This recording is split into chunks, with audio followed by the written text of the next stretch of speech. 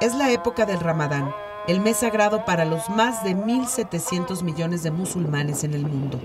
Desde el minarete de la mezquita, el muezzin, o responsable de convocar de viva voz a la oración, llama a los fieles para que acudan a rezar durante cada uno de los cinco momentos del día reglamentarios. Pero en época de Ramadán, hace un llamado especial por las noches. El Salat at-Tarawih, dirigido durante una parte de la noche por el imán, se compone de oraciones comunitarias para escuchar tantas partes del Corán como sea posible.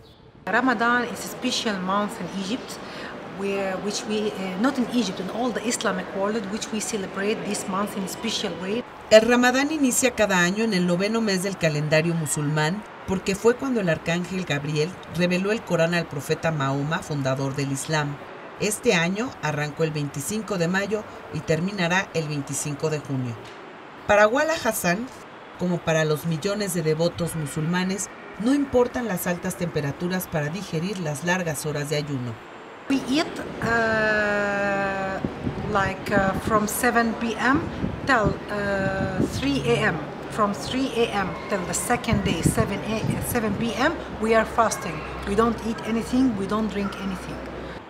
El crecimiento de musulmanes cambiará el mapa religioso del mundo en el año 2050 cuando los seguidores de esta corriente casi igualen el número de cristianos, incluidos católicos, según el Centro de Investigación Pew de Estados Unidos.